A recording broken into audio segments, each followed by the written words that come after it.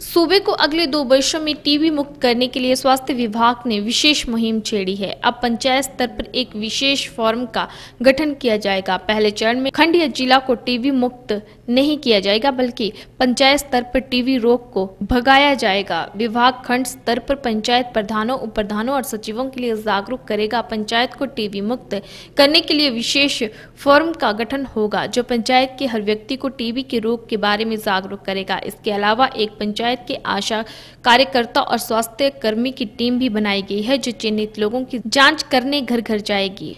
जैसा कि देश के प्रधानमंत्री नरेंद्र मोदी ने 2025 तक पूरे देश को टीबी मुक्त करने का लक्ष्य रखा है, लेकिन हिमाचल प्रदेश ने इसे 2022 तक प्रदेश को टीबी मुक्त करने का लक्ष्य रखा गया है। हिमाचल प्रदेश स्वास्थ्य विभाग देश के केरल प्रदेश की तर्ज पर मुहिम छेड़ेगा, जिससे पहले पंचायतों को टीबी मुक्त किया जाएगा। बता दें कि केरल की पंचायत में किसी व्यक्ति को टीबी रोग होता है तो उस पंचायत के लोग उस व्यक्ति की पूरी देखभाल करने के लिए आगे आते हैं। उसकी की दवाइयों से लेकर खाने पीने की रूटीन के लिए अपनी सहभागिता निभाती हैं ताकि वह व्यक्ति जल्द ठीक हो सके।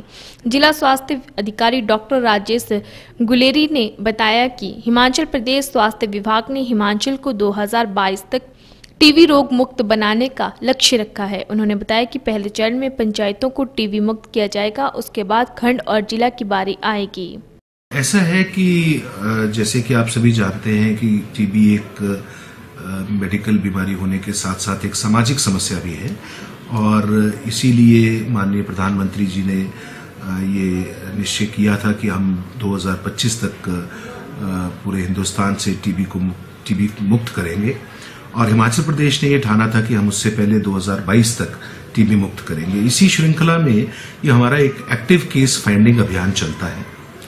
जिसमें कि हम जो वर्नरेबल पॉपुलेशन है, जैसे कोई स्लम्स में रहने वाले लोग हैं माइग्रेंट्री पॉपुलेशन है हॉस्टल्स में जेल इनमेट्स डायबिटीज़ होने वाले लोग तो ये करीबन पूरी पॉपुलेशन का 10 परसेंट के करीब अंदाजन ये पॉपुलेशन बनती है, जिन्हें हम हर वर्ष एक्टिव केस फाइंडिंग के माध्यम से उनको घर घर जाकर स्क्रीनिंग करते थे, ताकि उनमें किसी में टीबी का लक्षण मिले। तो उसे जाँच कराई जा सके और एकदम से इलाज शुरू किया जा सके।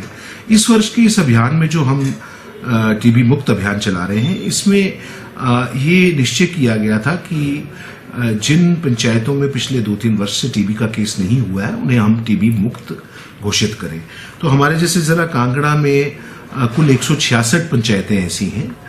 प्रदेश में करीब 800 के करीब पंचायतों का चयन हुआ है। उसमें से एक पंचायतें हमारी ऐसी हैं जिनमें हम पूरी पॉपुलेशन इन पंचायतों की पूरी पॉपुलेशन बाकी पंचायतों में तो सिर्फ़ जो मैंने कैटेगरीज बताई, उन्हीं लोगों का स्क्रीनिंग की जाएगी। इनमें पूरी पॉपुलेशन की। तो इस तरीके से करीब तीन लाख अठासी हज़ार के आसपास की पॉपुलेशन की हम पहली तारीख से लेकर पंद्रह तारीख तक स्क्रीनिंग करने वाले हैं।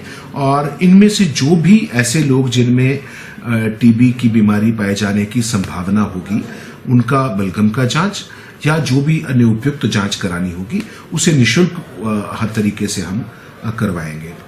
कांगड़ा जिला में इस कार्य के लिए इन पंद्रह दिनों में दिन रात टीमें लगी हैं कोई छुट्टी नहीं है और 733 हमारी टीम्स इस समय पूरे जिला में काम कर रही हैं और हर टीम में एक स्वास्थ्य कार्यकर्ता और एक आशा वर्कर है। इसके अतिरिक्त जितने भी हमारे ट्रीटमेंट सुपरवाइजर्स हैं ये मॉनिटरिंग कर रहे हैं, खंड चिकित्सा अधिकारी चिकित्सा अधिकारी प्रभारी जो हैं जिला से जिला क्षय रोग अधिकारी, जिला स्वास्थ्य अधिकारी और मुख्य चिकित्सा अधिकारी के द्वारा इसकी रेगुलर मॉनिटरिंग की जा रही है, ताकि ये जो इतना बड़ा अभियान हमने लिया है हाथों में, इसको हम अच्छे तरीके से पूर्ण कर पाए और जितने भी इन क्षेत्रों में जो टीबी के केस डायग्नोज नहीं है अनडायग्नोस्ड है, उनको समय पर डायग्नोज करके इनका इलाज शुरू किया